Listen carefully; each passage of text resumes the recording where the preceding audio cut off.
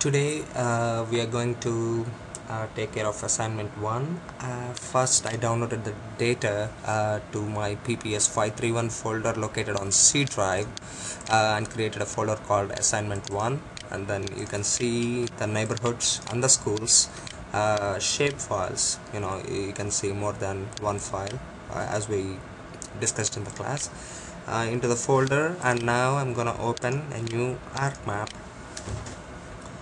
or shape files to my ArcMap I'm gonna click on new empty map and then click on add data and then go to my C drive in which I have PPS 531 I'm gonna find the assignment 1 folder select all shape files and click on add. As you can see I added the neighborhoods and the uh, point files which, which are the schools you can right click and open attribute table and you can actually observe the status which is open or closed of the school the name of the school and the neighborhood and the address. And if you scroll to the scroll to your right you can see the district which is city of Pittsburgh or uh, Pittsburgh uh, diocese private school uh, which uh, these two actually represent the private school and the Pittsburgh uh, diocese uh, as you know uh, those are the two two categories which identify private schools. And you can see the number of employees also. I'm gonna close this. And uh, you can see in the neighborhoods uh, we have the neighborhood uh, name of the neighborhood unique IDs and square miles and uh, acres and stuff. Doing this uh, assignment is to uh, create a map which shows the en- enrollment of public and private schools in Pittsburgh. So what I'm gonna do is make my neighborhoods you know less visible or you know make it gray or something like that so that it's not too profound. And I'm gonna make a copy of my schools. What I'm gonna do in the schools is right click go to the properties and the definition query I'm gonna set my status. Because we are only dealing with open schools I run a query to only show the open schools. Click on click that. So I'm gonna show only the schools which has a status of open okay? And I'm gonna right click and open and see that there are 153 um, schools right now uh, other th- whereas the original file which has 159 which means six schools doesn't have you know uh, a, status of open or they are closed. Uh, I'm gonna do the same thing here to this query builder. Scroll down status is equal to get unique values. I'm gonna click on close. Oh actually it should be open. Okay. Now both these have 153 schools each. But what we are trying to show here is actually uh, uh, public schools in one and private schools in the other. I'm gonna go to the symbology the categories. Uh, actually you know what?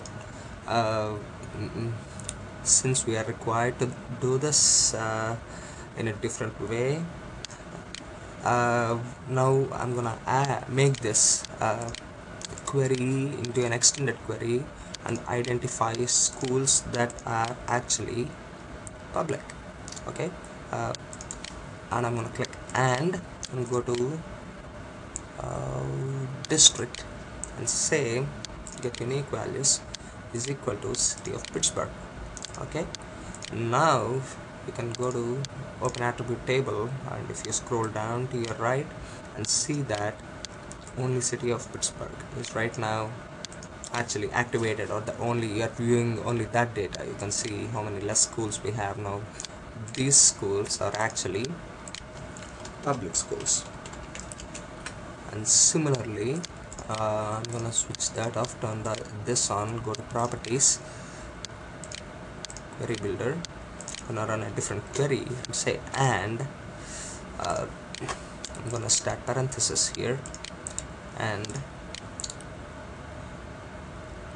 this district is not equal to city of Pittsburgh. Now just to uh, get the rest of the schools. Now we got the rest of the schools here. Open. 59 here. If you can turn the rest on you have 94 which will make the total you know 153 so that's the total schools. Now I'm gonna rename this as private schools. I'm gonna go to the properties and go to the symbology now and go to quantities or graduated symbols and say I'm gonna say this will be maybe the red schools will be public schools okay and the value based on enrollment. Okay I'm gonna use natural breaks.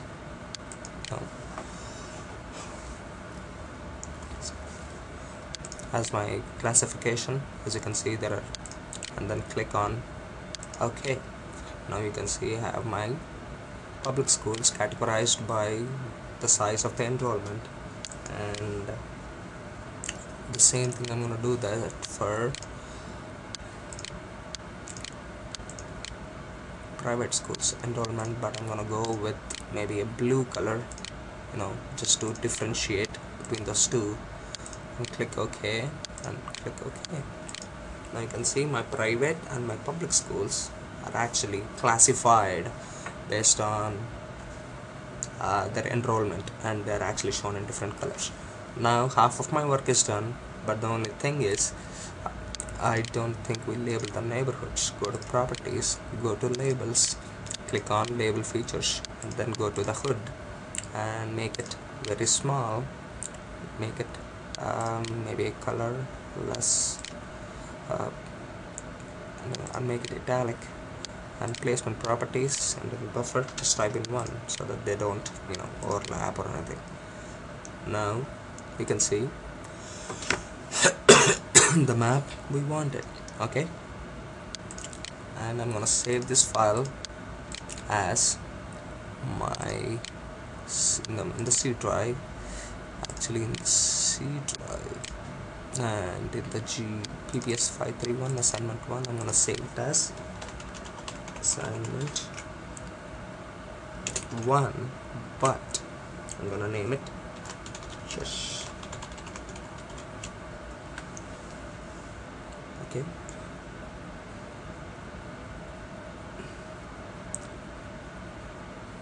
Now it is saved okay. Actually just one more thing. Uh, you may want to add map tips to this. Uh, for the schools especially. What you do is go to the properties of the schools and go to general maybe or display. Go to show map tips. Uses primary display field and go to labels and say yeah the label is primary display field. That's fine. Click on ok and now when you actually move your mouse uh, pointer onto one of the you can see the name of the school right? Uh, and similarly do that to private schools. Um, go to display show map tips. In the labels just make sure you have the name which is the primary field uh, which is actually shown as a map tip okay? Just click on ok and now you can see it for all schools. And uh, the last thing uh, what you want to do is uh, add a hyperlink.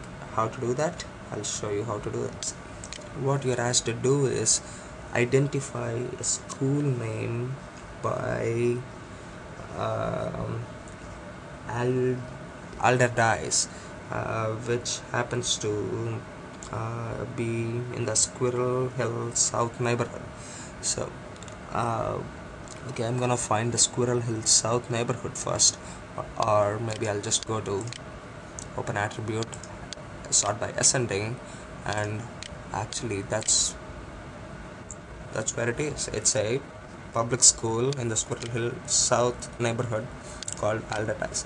Okay I'm gonna oh there it is actually the highlighted one so I'm gonna click identify click that now I can see that. And right click in the you know table of contents of the identify window and say add hyperlink